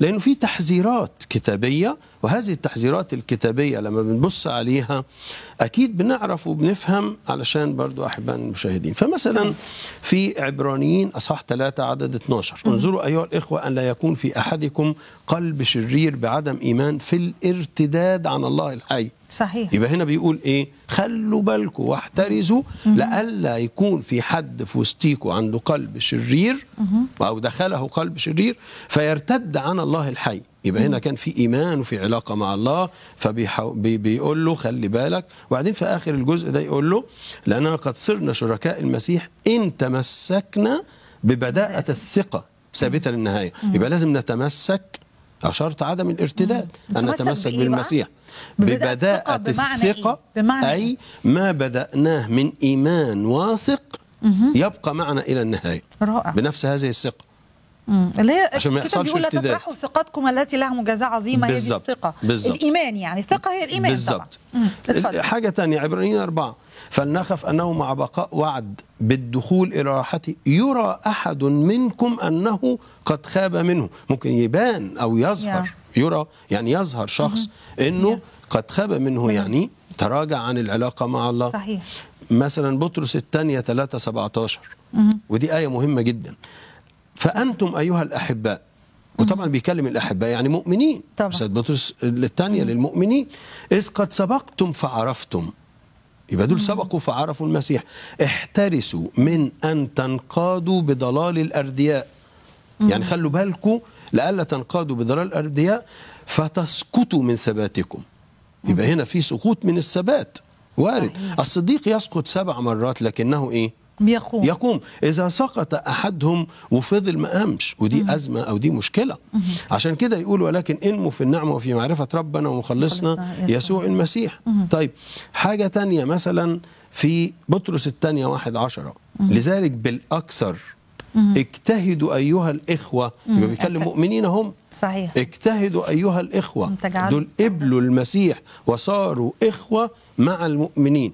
أن تجعلوا دعواتكم واختياركم. واختياركم ثابتين. ليه بقى؟ لأنه لأن- ممكن يحصل إنه لأنكم إن فعلتم ذلك لن تزلوا ابدا. وفي عبرانيين ستة الآية المشهورة لأن الذين استنيروا مرة وذاقوا الموهبة الآية دي. السماوية. وصاروا شركاء الروح القدس. أيوة. هذه من الايات ال- عبرانيين ستة إيه حضرتك؟ ستة عشان أربعة نطلعها على إلى الشاشة. ثمانية. آه. عبرانيين ستة عدد نعم. أربعة. اتفضل وذاقوا كلمة الله الصالحة وقوات الدهر الآتي. وسقطوا لا يمكن يمكن تجديدهم ما دي بقى دي آية بقى معلش قوية جدا. صعبة جدا آه كمان. جدا. يعني إيه لا يمكن؟ يعني معناها إن باب التوبة اتقفل قدامهم مفيش فايدة. ولا نعمل إيه؟ أيوة إمتى؟ آه إمتى؟ إمتى؟ هو برضو علشان بس أحبائنا المشاهدين يدركوا أنا دي قوية ليديا، جدا من ضمن الآيات. مرات كتير إحنا. نفكر ان مجرد الواحد يقع كده يبقى ارتد وضاع لا هي مش كده. إحنا مش مش بنستهين بالموضوع لكن الارتداد في معناه الحقيقي اللي بيوصل إلى هذه الحالة المؤمن الذي سار في طريق آخر ابتعادا عن الرب وبعدين لم يقبل لا التحذير. ولا التأديب. ولا الروح القدس اللي بينخسه كل شوية وبيقول له وصل إلى مرحلة من المراحل فيها حتى أنكر الروح القدس زي ما قلت من شوية اللي بيقول له فوق قوم ارجع كفاية قوم من سقطاتك وخليك آه، شخص مؤمن حقيقي. في حالة إنه وصل لمرحلة أنكر فيها ده ده هو هنا بيقول أهو استنار مرة ذاق الموهبة الصالحة صار شريك الروح القدس. ذاق كلمة الله الصالحة وقوات الدهر الآتي. وبعدين ترك كل ده وسقط. أزمة كبيرة جدا طبعا وينبغي أنه يراجع نفسه. وعلى فكرة ممكن يقدم توبة وي- ويعود ويرجع. لكن إن لم صحيح. يقدم توبة وبقي في هذا الطريق طبعا تضيع حياته. دي أزمة صحيح. مشكلة. وده اللي كنت هسأل حضرتك فيه آه نتائج الارتداد واسبابه إيه أسباب الارتداد؟ اللي ممكن يكون بيخلي واحد مؤمن؟ معلش عشان خاطر يعني على عجالة. اللي يخلي واحد مؤمن زي ما حضرتك بتقول ومؤمن حقيقي يكون بيرتد وبيبعد عن الرب؟ إيه اللي ممكن يكون بي... ال- الأمر إيه المشاكل الأسباب؟ الأمر بيبدأ ب- ببساطة و... ويتعمق فيما بعد. يعني Yeah. مثلا إهمال العلاقة والشركة مع الله. واحد يعني أهمل الشركة مع الله. أهمل الخلوة الشخصية. أهمل قراءة الكلمة المقدسة. أهمل وسائط النعمة الصلاة والتضرع والكلمة. ثم تهاون مع الخطية. فصار يفعل هذا. وبعدين بعد ده كله امتدت الأمور إلى حياته في إنه قرر أن يسير في هذه الط- الطريق ويكمل في الطريق دي. وزي ما قلت صحيح. التحذيرات مش مش مرجعاه والتأديب مش مرجعة. طبيعي يعني. يا يا. أحيانا فعلا زي ما حضرتك بتقول فعلا آه يعني بتبقى في ثعالب صغيرة. بتبتدي الخطيه بحاجة صغيرة ميل للخطيه بحاجة صغيرة خطيه صغيرة. أحيانا بتفتر الكتاب بيقول بسبب, بسبب كثرة الاسم تفتر محبه طبعاً، الكثيرين أحيانا طبعاً. أحيانا برضو في تهاون يعني بالظبط. مش مشكلة مش لازم كل يوم أصلي مش لازم كل يوم أقرأ مش مش لازم كل يوم آه يعني آه أروح الكنيسة أو كل أسبوع أروح الكنيسة آه بنستهون بالأمور ال- المهمة قوي في الكتاب المقدس بصغر النفس الذات الذات كمان الذات والاكتفاء أنا كده أنا أحسن من غيري طبعاً، كتير أنا طبعاً. يعني أنا كده حلوة طبعاً. طيب اذا دي أسباب زي ما حضرتك بتقول ادينا من فضلك آه، يعني لو مثل واحد عن الوقت خلاص مثل واحد لشخص آه، ارتد فعلا بعد عن الإيمان آه، كتاب ذكر طبعا في أمثلة لكن طبعا زي ما حضرتك قلتي علشان ال- الوقت. يعني هاخد بس شخص آه، معروف أو بيتكلم عن اسمه ديماس ديماس ديماس. واحد من آه. الناس اللي عاشوا مع الرب وعاشوا في الخدمة كمان صح. يعني ديماس مثلا لما يتكلم عنه في كولوسي 4 14 قال يسلم عليكم لوقا الطبيب الحبيب وديماس. وحطوا كده مع لوقا الطبيب اللي كان بيخدم مع بولس الرسول. في فيليمون رسالة فيليمون قال بي برضو بيسلم عليكم مرقس وارسترخس وديماس ولوقا العاملون معي. يعني كانوا شغالين بيخدموا صحيح. مع بولس يعني. لو نلاحظ إن رسالة فيليمون كتبت تقريبا سنة 60 ميلادية. رسالة آه كولوسي كتبت تقريبا 62 ميلادية. لكن يجي في رسالة تيموساوس الثانية ودي كتبت سنة 67 ودي آخر رسالة كتبها بولس الرسول لأن البعض بيقول إنه كان بيخدم وبيقول الآيات دي لكن في آخر رسالة كتبها بولس الرسول يقول عن ديماس لأن ديماس قد تركني إذ أحب. العالم الحاضر. وذهب إلى تسالونيكي وأحب العالم الحاضر دي كانت مشكلة كبيرة. لأن الكتاب بيقول لا تحب العالم والأشياء التي في العالم, العالم. وبيشرح إيه العالم ومحبة Yeah. العالم ولم يذكر عن ديماس فيما بعد. صحيح. وتاه ديماس. الكتاب بيقول عن الرب أنا أشفي ارتدادهم في هوشع 14 4 إيه علاج الارتداد. إزاي؟ هو هو ده دور ربنا ولا دوري أنا؟ يعني أنا أشفي ارتدادهم معناها إن هو ربنا اللي بيشفي. طبعاً، طبعاً، ولا دوري تأكيد. أنا لو أنا ارتديت؟ آه، الأمر مرتبط بالاثنين الدور الأكبر والأعظم هو دور إلهي. الله دائما ما يكون آه، هو العامل الأكبر والدور الأعظم وهو اللي بيعمل ده. لكن إن لم أقبل الدور الإلهي صحيح. فدور الإنسان عشان كده إحنا بنقول تملي انه الإنسان عليه دور. فإذا كان الله بيعمل الدور الأكبر وعايز يرجعني ويتوبني أنا كمان عليا الدور الأقل اللي هو قبول التوبة. فزي ما قبلت المسيح في البداية أنا محتاج أقبل أت... وأقدم توبة وأقبل إن ربنا بيدور عليا. صحيح. وعايز يرجعني وعايز يجيبني. فأتجاوب التجاوب وتقديم التوبة الحقيقية. صحيح. حينما أتجاوب وأقدم توبة حقيقية أرجع. كما أدي قبلتم مساحة المسيح. للروح القدس. وأقبل أن الروح القدس يتفاعل معي. بدون تفاعل عمل الروح القدس في قلبي محدش هيقدر يعمل حاجة أو يرجع أو يتوب. تمام تمام. طيب اذا كما قبلتم المسيح أسلكوا فيه. طيب في آية بتقول إن كان لي كل الإيمان حتى أنقل الجبال ولكن ليست لي محبة فلست شيئا. آه، إن هو عايزين نعرف آه، يعني يقصد إيه؟ ما الإيمان ده حاجة عظيمة جدا وجميلة جدا. ليه بيحط المحبة جنبها؟ يعني بيلغي الإيمان لكن بيقول المحبة. لو أنا ما عنديش محبة يبقى خلاص ما عنديش إيمان.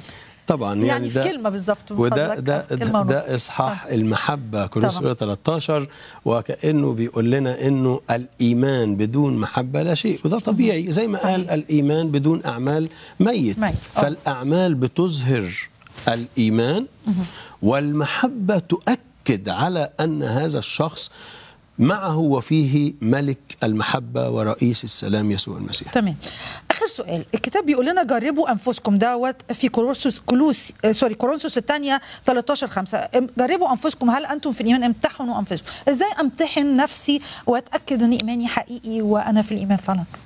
المؤمن الحقيقي هو ملك للمسيح وليس لنفسه. صحيح. المؤمن الحقيقي هو ملك المسيح وليس للعالم. المؤمن الحقيقي يعيش وكأنه آه، في السماء مش هنا على الأرض. المؤمن الحقيقي حينما يمتحن نفسه يلاقي قلبه على ال- السماء والأمور السماوية وما هو فوق مش ما هو على الأرض. المؤمن الحقيقي اختباره بيبقى واضح وبيبقى معلن فيعيش وكأنه يعيش في السماء لأن سيرتنا نحن هي في السماويات في المسيح أنا يسوع. بشكرك جدا حضرتك. القسيس إحنا كمان هنصلي لأجل الأخ عزيز علي بيقول صلوا من أجل أسرتي لكي تخلص كما افتقدني الرب. أمين في اسم المسيح. هنصلي آه، فعلا لكل طلبات الصلاة اللي جات لنا. آه، آه، يعني الرب اللي بيحفظنا بتقول الأخت سوزي آمين ربنا يباركك نشكرك جدا في نهاية الحلقة حضره الأسقف لأجل فعلا موضوع. هام جدا آه، فعلا إن إحنا نمتحن نفسنا هل نحن في الإيمان أم لا ربنا آه، رب يحفظنا فعلا في. الإيمان غير عاثرين في اسم المسيح شكراً. آه، بشكر حضرتك جدا وبشكر فعلا وقت حضرتك الثمين اللي اديته لنا ربنا يباركك ويبارك خدمتك ويبارك فعلا عمل إيديك وأسرتك وكنيستك وكل ربنا يباركك ويبارك. البرنامج ويبارك قناة الكرمه الجميلة ربنا ربنا يستخدمكم دايما لمجد ويبارك أحبائنا المستمعين المشاهدين آمين. في اسم المسيح مشكورة جدا. أعزائي المشاهدين بيوصينا الكتاب في عبرانيين عشرة بيقول لا تطرحوا ثقتكم التي لها مجازاة عظيمة لأنكم تحتاجون إلى الصبر. حتى إذا صنعتم مشيئة الله تنالون الموعد لأنه بعد قليل جدا بعد قليل جدا سيأتي الآتي ولا يبطئ أما البار فبالإيمان يحيى وإن ارتد لا تسر به نفسي. أما نحن فلسنا من الارتداد للهلاك بل من الإيمان لاقتناء النفس. شكرا لحسن متابعتكم ومشاركتكم. إلى اللقاء في حلقات قادمة من برنامج كرم المباشر والرب معكم.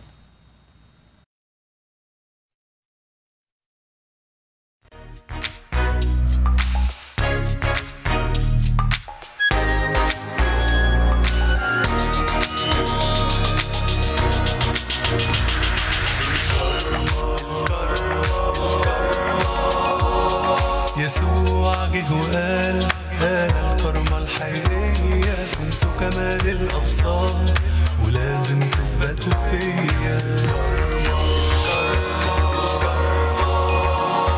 الكرمة شهادة ونور بتنور طول اليوم. بتذيع بشرى وسرور وبتطرد